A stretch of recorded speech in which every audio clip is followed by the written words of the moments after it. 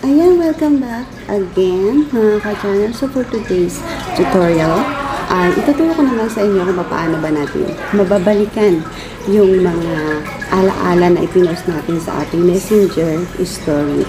Hindi sa hindi sa timeline, kung hindi sa story natin. So guys, samahan niyo ako para mabalikan natin yung mga alaala na malungkot at masasaya. Tara guys!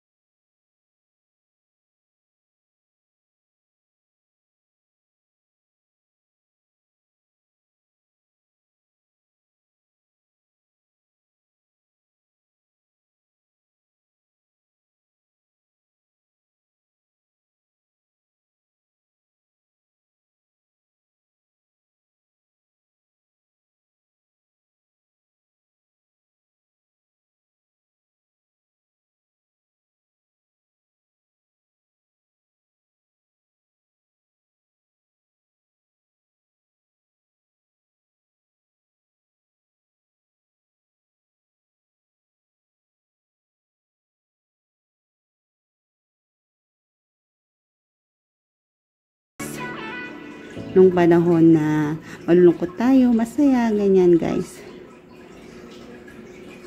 Ang cute guys. ayan guys, di ba? Kikita natin. So, ayan guys, napaka-simpleng paraan lang naman. Um, dito lang sa dots. Tapos, at, uh, story. Ayan. So, kita na natin. So, guys, Thank you for watching sa aking maikling tutorial. Bye-bye!